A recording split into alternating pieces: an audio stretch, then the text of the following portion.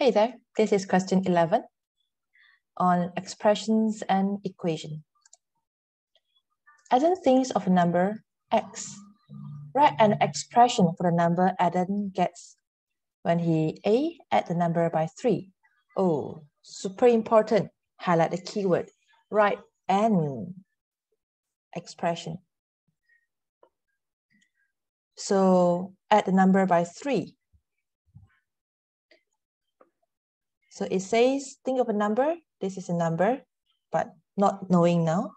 I replace by an alphabet X. So add the number by 3. The number here refers to X. So I put X here. Put add here. So basically adding number by 3, which is adding the number unknown by 3. So key in here, x plus 3. Next, multiply the number by 4. Multiply. Put down the operation right away. Multiply the number by 4. So when I combine alphabet with number in the operation of multiply, I can simplify it by merging them together, which is number of compass. This one, it can become hidden and the unknown comes later. And make it hidden, the multiplication, I'll put it as 4x. So here I type 4x. C, divides, immediately you write down the operation for divide. Divide the number by 2.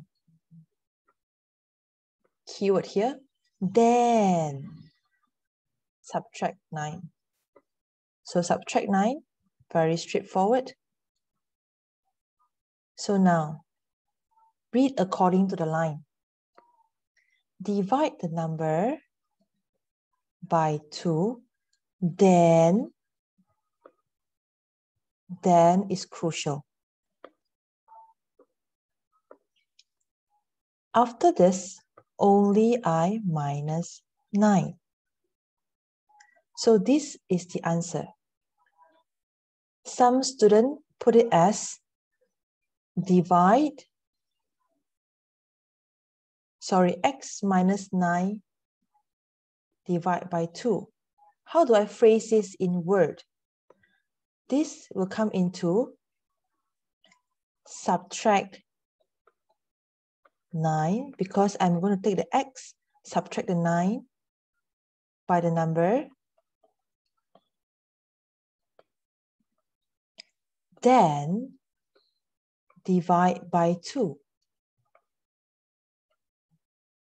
Two different things. So the then become the crucial part here. Then will separate which one come first, which one come later. For this question, divide by 2. Complete that first, then only you minus 9. Super clear? Okay,